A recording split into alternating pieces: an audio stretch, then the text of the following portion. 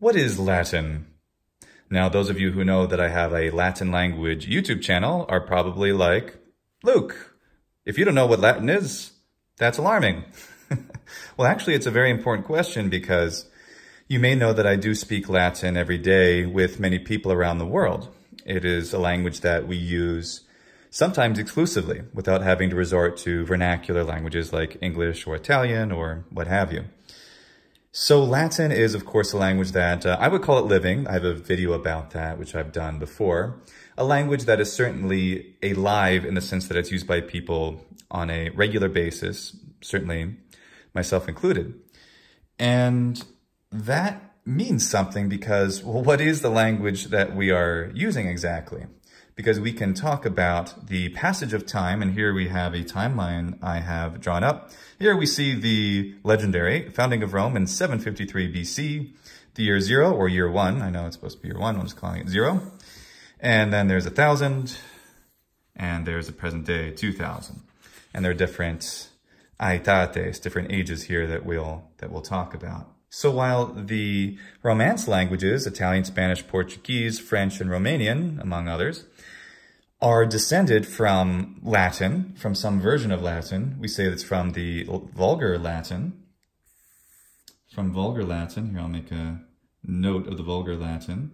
Vulgar Latin comes from the word vulgus, vulgus, which is cognate with the English uh, and German word of the same pronunciation, folk, or Volk in German with a V, and it means the people. So Vulgar Latin is the people's language. And this stands in contrast with what is called Classical Latin, which occurs roughly between the years 75 BC and 200 AD. So let's explore the origins of Latin. Latin is descended from Proto-Italic, Italic referring to Italy, the languages that were variously spoken throughout Italy. And the Latin, when we speak of Latin, we're speaking specifically of the urbane, of the urban dialect of Latin spoken by educated elites in this time period. And that stands in contrast with various forms of more rustic Latin, which I'll also write over here. Rustic Latin could happen at any period, but authors, classical authors, authors classical authors, well-educated authors of the classical Latin period will refer to rustic forms of Latin. Latin from other parts of Latium, Latium. Rome became the dominant city in the region of Latium, or today it's called Lazio in Italy. We could still call it Latium in English, or Latium. So rustic Latin could be that form, or it could be anything of the vulgar Latin, the people's Latin, the non-educated variant throughout Italy and ultimately throughout the Roman Empire. So Proto-Indo-European branches into Proto-Italic, and then there is some version of Proto-Latin we can imagine that maybe was and certainly something was spoken by these legendary founders or whoever they were who started to begin the uh, city, the town, and then the city of Rome. And in this period, before the year 75 BC, certainly before uh, the beginning of the first century BC, all of this is referred to as Old Latin. There is no strict beginning of when Old Latin began because we don't have very much in the way of testimony there. We just have inscriptions that variously appear around here, around this century. But finally, the first real Latin literature happens after the, the birth of uh, Plautus, or Plautus. He uh, was born in 254 and died in 184, according to, um, according to the ancient uh, Roman sources. So I'm going to write Plautus here. And also here, the dates of his birth and death are not clear between 190 and 160, and those are for Terentius or Terence. And they were partially contemporaries, living around the beginning of the first century BC. Or excuse me, around the beginning of the second century BC, I, I mean, the uh, 190s, we'll say, somewhere around there. To those of us who've studied classical Latin, such as through the wonderful book Familia Romana, Lingua Latina per se illustrata, which it has actually an accompanying text, which is for one of Plautus's plays, which is called the Amphitryo. And that, even though it's much, it's considerably older, it's from about 200 BC, and yet the Latin I learned was something more like from around here, roughly, it was completely understandable. The new vocabulary and the usages of, of grammar that were slightly different weren't that different at all. To me, until I learned that Plautus and Terence were Old Latin and not Classical Latin, that they were something other than the language I really studied, I was surprised. Because the differences between uh, Plautus and Terence and the Latin I had come to study at that point were so minor as uh, to be uh, hardly noticeable. I'd probably say there's a greater difference between the author Jane Austen and uh, I don't know, a modern 20th century author. It, and we, no one would consider Jane Austen to have written in a language different from ours today, despite the variations of English that exist around the world and throughout time. In any case, Plautus and Terence are essentially the beginning of Latin literature. And then you have um, uh, Ennius and uh, many others who come in, in this come in during this period, Cato the Elder and so forth. But none of it is is quite the classical variant yet. Classical Latin has two major periods that it's divided into. And the first one, going from about 70 BC to 1880, I've looked up these numbers and the, the exact definitions of them may vary from scholar to scholar. But in any case, this is called the Golden Age of Latin. And the Golden Age uh, Latin has quite famous, perhaps the most famous authors of Latin, which we can name Cicero and Caesar. And I specifically name the two of them because when we talk about learning this Latin language, this is the form that we seem to study. And what's happened in the years as they've gone by is that people have imitated Caesar and especially Cicero as the model of Latin through the rest of time to the present day. And that's very interesting. That's what has standardized the Latin language throughout time. That's why the Latin that we speak today is essentially the same language as that of Cicero, and not necessarily the same as that of Plautus. Golden Age Latin is followed by Silver Age Latin, and the Silver Age goes from about the year 18 AD to 133. And the boundaries of classical Latin seem to go a little bit, teens a bit earlier and later to something like 200 AD apparently. So these dates I think are somewhat arbitrary. But if you know exactly why these dates are so specific, what they refer to, why there's a distinction here, some say 133 for the end of the Silver Age, and yet classical Latin proceeds a little bit longer. I'd love to know, but um, I think it's it's these are not terribly well fixed periods of time. So the Silver Age has famous authors like Seneca, just to give some idea of these authors. Now, for me, of course, reading the Latin of Seneca or Juvenal is not a terribly different experience than reading that of Cicero or Caesar or of the many other poets. To me, it just seems like the wider variety of different of different authors. And there's stylistic variations and things, but this has a huge impact on what we compose. Because those, those of us who speak Latin, some of us even write in Latin, or even write books in Latin. And we all concentrate on this golden age, Cicero in particular, certainly for prose, as our primary style guide. And as I mentioned before, contemporary at all times, while we have a literary language that has its roots here, this literary language, which is interesting, of the Old Latin variety of Plautus and Terence, which, as I said, is remarkably similar to the classical Latin. It's not that different. Has a lot of the vulgus, a lot of the Latina vulgaris in it. Things that are either eschewed or not found in these authors during the Golden Age or the Silver Age. And yet, around the same time period, we can find works of a uh, lesser importance, for example, for example, the Interpretamenta, which come from the mid second century AD, which have how to have a conversation in Latin. And yet they have expressions which we don't find here. Expressions that, in fact, I have dared to use before, and people have said, oh, that's not good Latin. And they have a point, and I don't disagree with them necessarily. I was using them because they are colloquial and they had something in common with these guys back here. So what I'm getting at, and this is not a, an extremely coherent presentation, but what I'm getting at and wondering about through this whole process here is, okay, so this Latin that we speak today is based here, but is this all that it can be? Do we think that Juvenal and Seneca are less Latin to some degree? And some people might say yes. And I don't think they're necessarily wrong either. These are really just the questions that we have. Because as we continue to speak and cultivate Latin as what I call a living language, that is a language that is used for communication in the form of books, conversation, music, you name it, as this continues in our 21st century, we have to make certain decisions, editorial decisions, artistic decisions.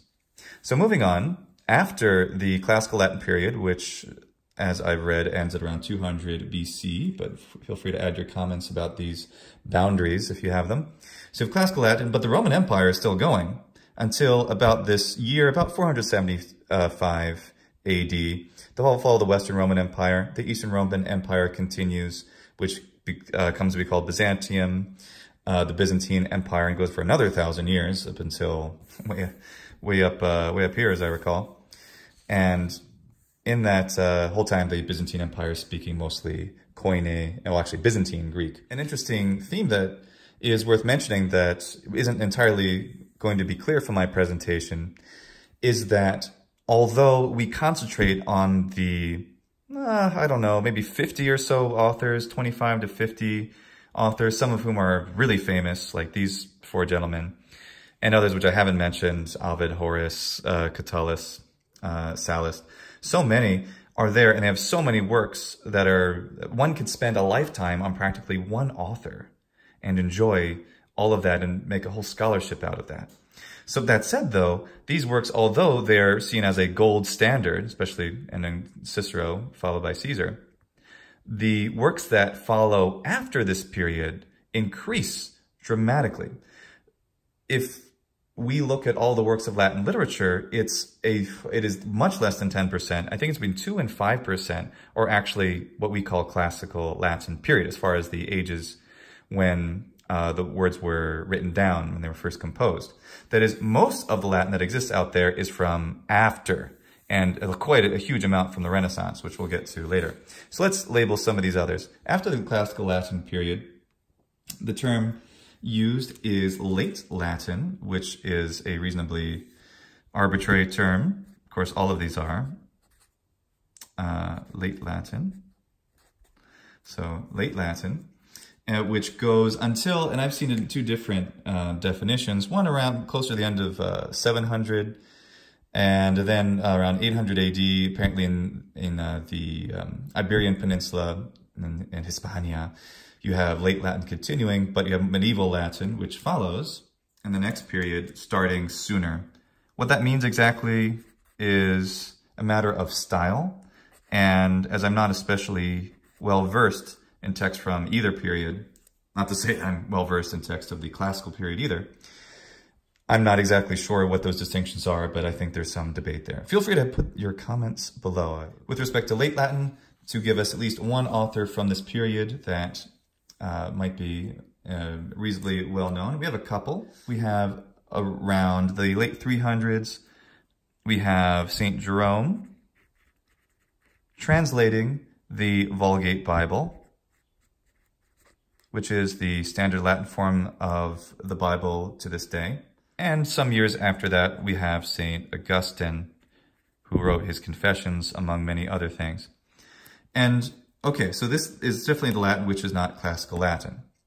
But as a reader and speaker of classical Latin, when I look at these works, I find them easy to understand. I see things in there that look like, oh, are those grammatical mistakes maybe? Are those things, words that are somehow more vulgar? That is more of the common people, less part of the classical tradition? A little bit. I, I can notice a little bit of that, but again, I'm not that well versed in these texts. Nevertheless, they are part of the continuum, the unbroken continuity of Latin being a spoken and written language for over two and a half thousand years. So after late Latin comes the period that's called medieval Latin, and some writers in that period, we have around the year 1100, we have Heloise and her consort, the philosopher Abelard, Abelard. And so they're around this uh, period. Later in medieval Latin, we have Aquinas. And then after medieval Latin will come Renaissance Latin.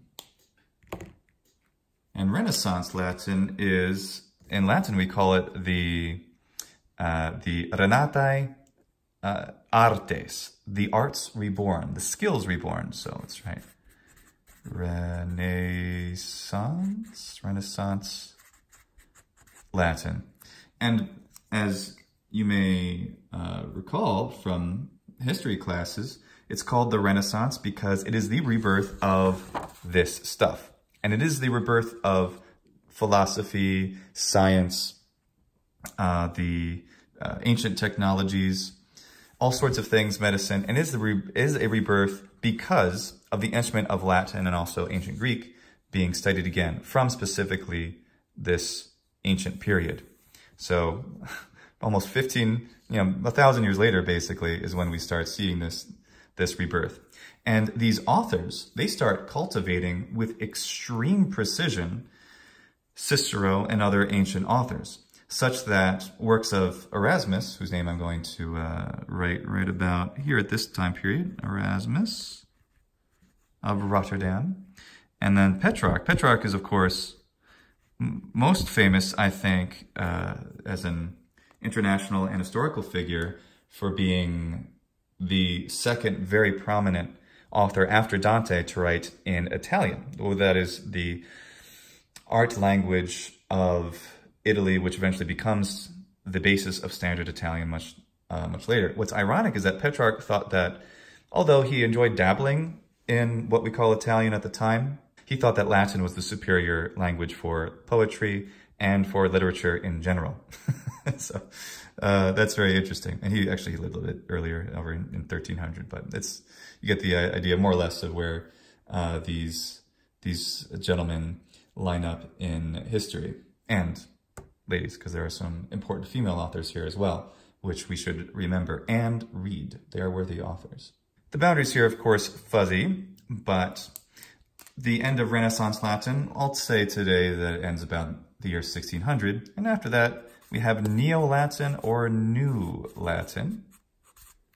Sometimes we refer to the Romance languages as Latin languages, and these terms are all kind of fuzzy and not terribly clear. So there's nothing wrong with that exactly. But um, when we speak of New Latin in the literature sense, that's where it belongs. It's almost like talking about modernism and postmodernism and the art world. It's like, what? how can we be postmodern if modern means today? But it, it doesn't matter. One of my favorite authors from this period is Isaac Newton. And there's others like uh, Kepler and Copernicus, which are all around this period, which is on this transition between Renaissance and New Latin. Now, all of these authors from the Renaissance period on have caused the rebirth of the classical language mores such that they have imitated it so well, like Erasmus, for example, such that we can today, if we're looking for gold standards of Latin, look to both Cicero and to Erasmus, I would say with equal admiration and esteem. And if I'm wrong about that, then I would love to hear your opinion.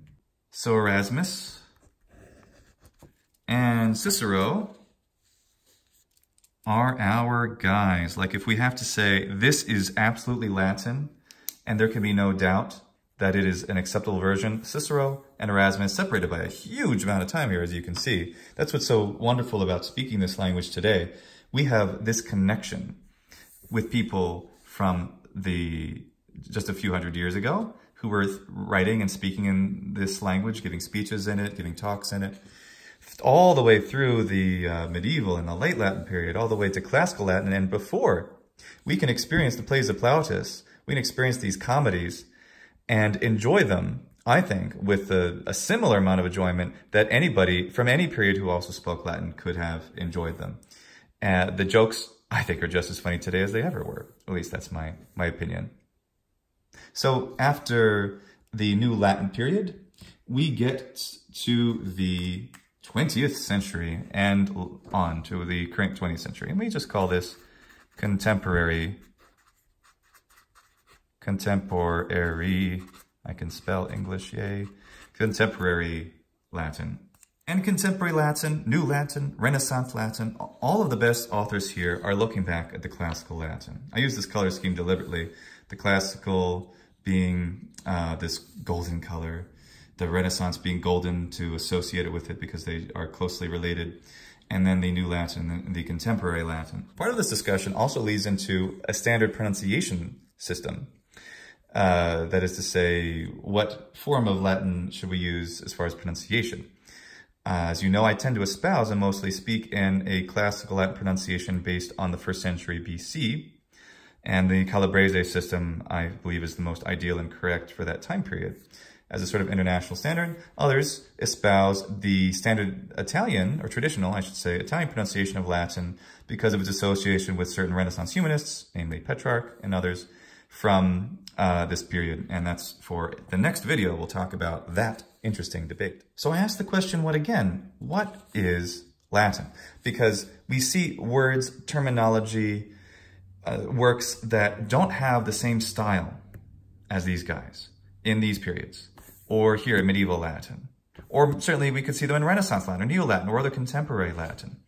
We might see innovations in any of these periods by different authors which fall below what we might consider to be something as a true or standard language.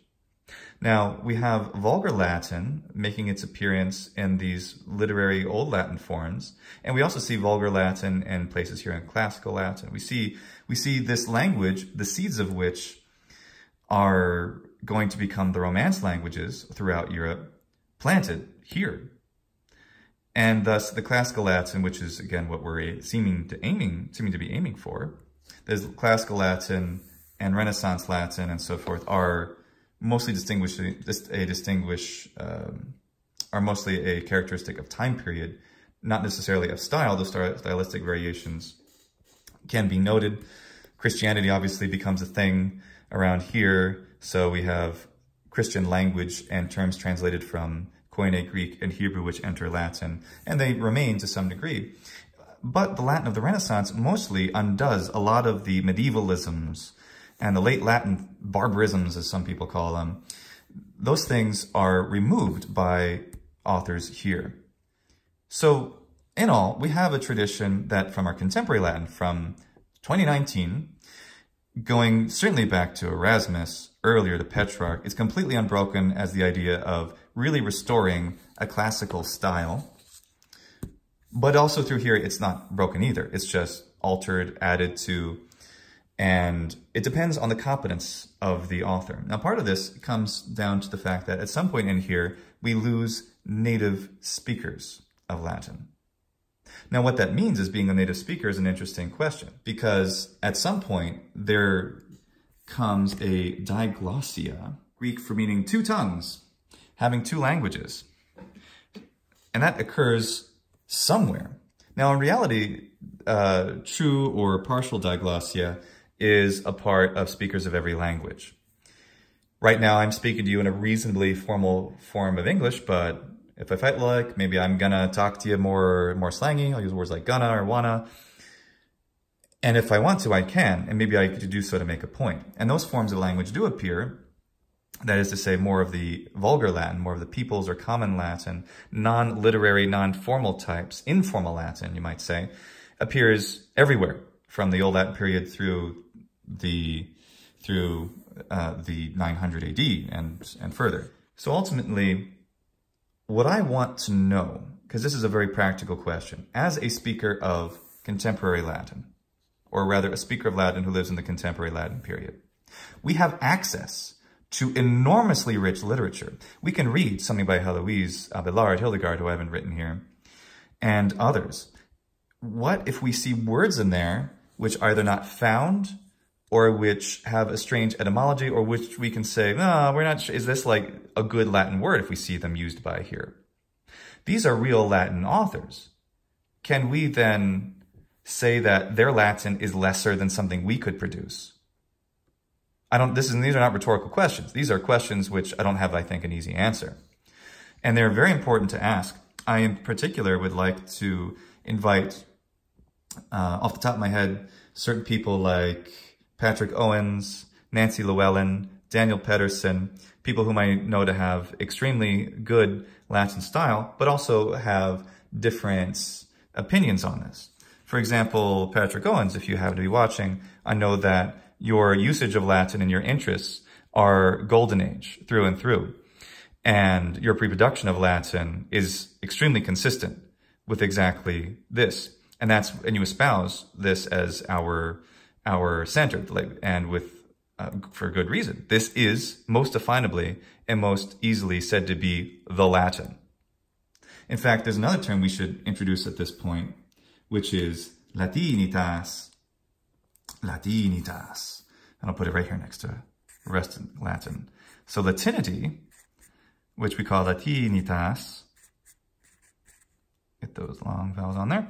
Latinitas is the good Latin style. As I was saying, uh, Patrick Owens, again, if you're watching, your Latinitas is above reproach. And all of us want to be able to achieve that, that kind of a goal. Uh, and there are, for example, Daniel Pettersson, again, uh, you, sir, if you're watching, we love your Latin and everything you produce and how classical it is. And you advise us. For example, you advise us on how to say, um, uh, don't worry about it. The term that was often used by, in this kind of new Latin period, of noli sollicitari as not being a particularly classical expression. In fact, indeed, you found uh, Plautine and, uh, and Terence expressions, uh, aliud cura and sine cura sis, which are much more, I think, and I agree with you completely, much more Latin. They could definitely be more Latin than something like noli sollicitari, which may be a phrase just invented in this period, maybe even this period, which isn't equally valid. But here's my question for you then. If it's not from this period, if it's from this, if it's from Old Latin, because this is truly Latin, there's no doubt. This literature is the Latin. This is apparently slightly lesser, but usually, yeah, it's still Latin. Can we, and this is utterly legible to us. Can we use these phrases?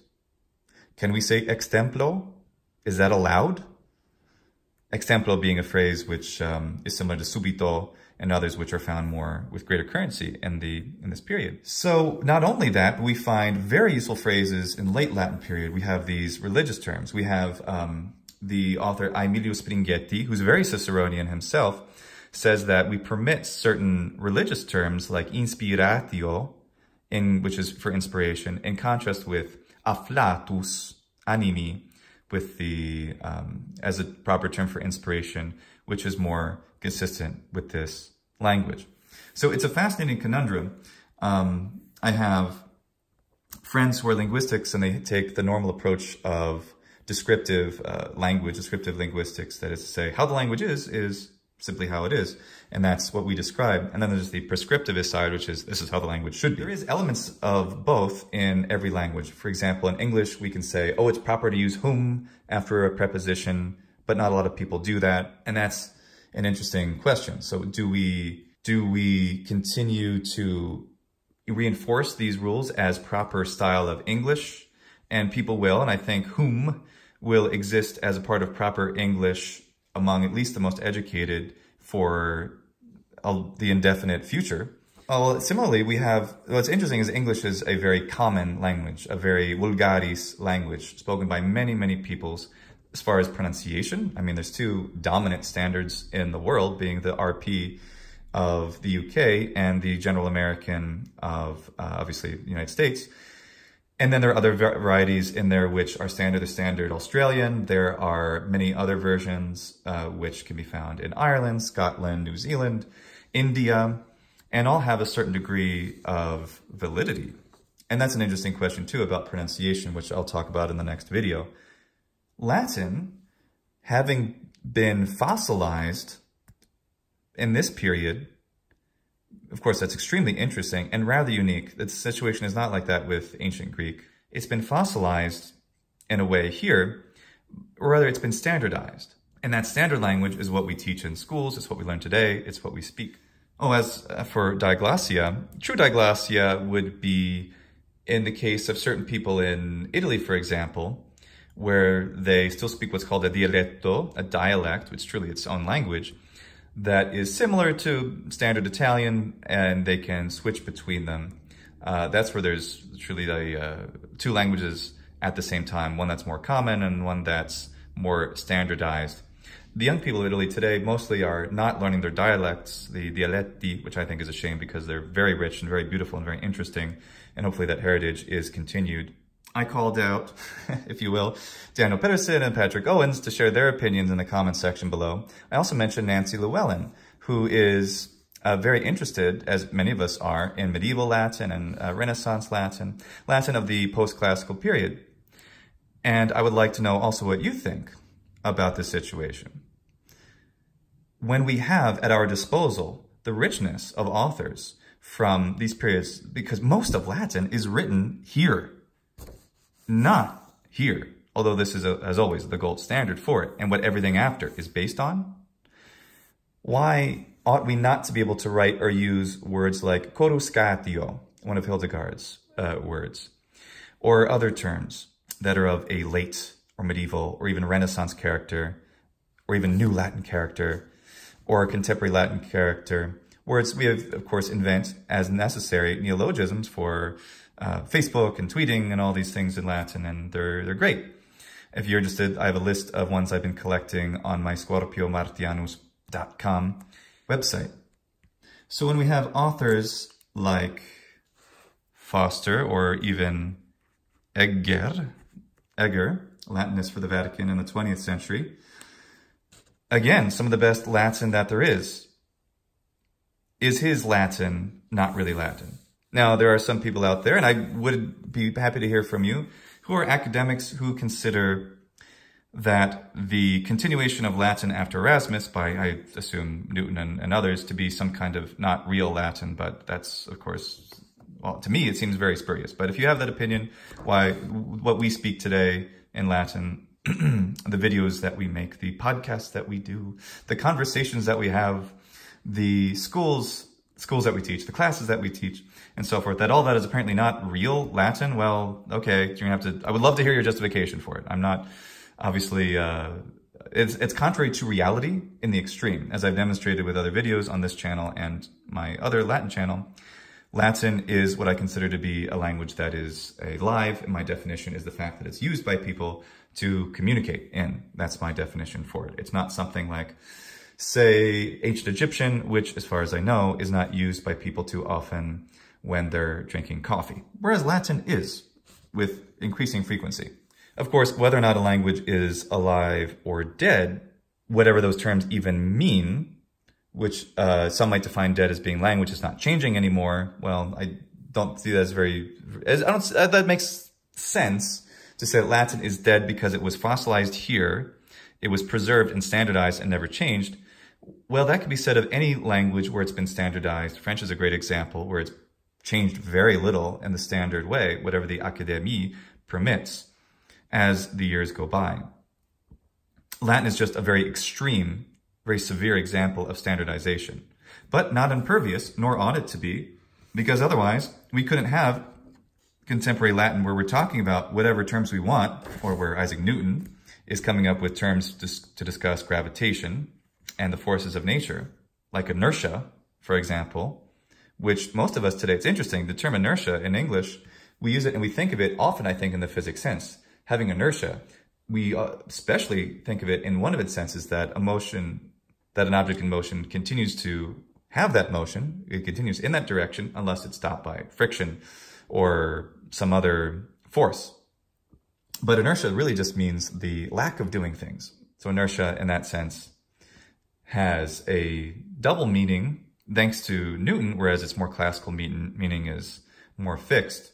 A fascinating example of how the language has been able, per, permitted to spread, to change just a little bit. And there's no doubt that Newton is writing in Latin, that Egger's writing in Latin, that we are speaking as best as we can Latin today in the 21st century. So that concludes my presentation what is Latin? And ultimately what that question is, what is the standard form of Latin we should teach, permit for ourselves, And teaching is a big part. Much of the Living Latin movement, as it's often called, revolves around education. But we are starting to see the changes. I made a video about the culture of Latin speakers, where we are producing many things, podcasts, videos, books, for our own consumption, which is exactly comparable to Latin in all these periods, certainly the Renaissance and uh, New Latin period, and with this uh, new Renaissance, as Christophe Rico uh, calls it, yet another new Renaissance that we have now, where we're able to recapture these ancient languages so well. What's interesting is thanks to technology, of course, we can communicate with each other over long distances on regular, on a regular basis, even though our numbers of speakers in the thousands or tens of thousands are relatively few. We can find each other, we can speak with each other, and we can enjoy this all this literature, and we can communicate with each other. So what, again, the question for all of you, and I would hope uh, you write your responses below. Um, no opinions are invalid here. Uh, as I mentioned, I decided to mention three names, Patrick Owens and Nancy Llewellyn and Daniel Pettersson, as uh, being, I think, interesting exemplars of Latin generally being used today because all of you speak Latin with immense facility and you are our models. What should we do? What kind of words uh, do we use? Do And uh, speaking of Patrick Owens, he made this really good point in his article, I can't remember the name of it right now, but it was basically if we come up with various neologisms, if we start creating a kind of new Romance language where we start to diverge too much from the tradition of Latin, then if we go back into reading something from this period, which is often our goal, uh, to speak Latin. I why do we speak Latin? Of course, we enjoy it as, as a hobby in itself, but uh, we speak the Latin because we want to have the ability to access this literature with complete facility without any difficulty, no without any more difficulty than, say, an American who has studied Italian being able to read the Italian Petrarch or Italian Dante. And he has a really good point about that, which is worth considering, very much worth considering. Jesse Craft and I, in our most recent podcast, which is contemporary with uh, the release of this video, discussed this question as well. And also on Jesse Craft's channel, Magister Craft, he has an interview in English with one of his former pro uh, professors, and the series is called Classical Reflections, where he discusses color terms. And he asks the question, what do we teach our students if they want to know, especially in the context of the so-called Living Latin movement, what do we teach our students when it comes to teaching them what's the word for pink or orange? And then uh, the gentleman's response was a very good one. Well, some cultures don't have certain color terms. They're not there. Japanese, for example, would consider the primary word for these two colors as being ao, which means blue or green, or something in between. And they do have ways of distinguishing them. They can they can call uh, blue today in Japan blue from English, and they call green midori, which means something like fresh uh, growing plant or it has its etymology with that idea. So they have ways of distinguishing them that they acquired under the influence of foreign culture, Western culture in particular. So if the Romans didn't have certain color terms, yet for us as speakers of European languages, myself an American, I know what pink and orange are distinctly. Should I come up with a different term? What do we do? And we have words. Now, what's interesting is we do have words that exist. We have color terms that have been developed in these periods. And those color terms correspond pretty well with our modern languages color terms, say in English, Italian, French, etc. But they don't exist back here. Is it okay to use them? Is that acceptable? When is it, when are we going too far? So this is, a, I think, a very interesting debate, and I hope to have responses from all kinds of people in this uh, video. Maybe you're interested in Latin and are just finding out, oh, Latin's a living language. Oh, I don't know that. Or at least Latin's a language that people use to speak um, every day, which is true, especially for myself. There are podcasts in Latin. There's videos in Latin. Yes, there's uh, links to a bunch of that in the description of this video. And I mentioned Daniel Pettersson and Patrick Owens and Nancy Llewellyn specifically because I think the three of you stand on slightly different parts of this debate. But not only you, guess whom we've had on the podcast Legio Tertia Decima, 13th Legion, like Alexis Hellmer, uh, Roberto Carfagni. Your opinions also. I enormously esteem your Latin style, so I would love to hear from you as well. But everyone, everyone who has an interest in the Latin language, whether as a living instrument or not, I would like to hear what you have to say, especially if you have any corrections to my, my history or my assessment of the situation with Latin. Thanks so much. Tune in for part two, where I ask the question of what is the standard pronunciation of Latin? What should it be, if there should be one, and why? Thanks again. Valete. Dixi rembrauayam copiantisi peri o heri. Ludebamus amore facili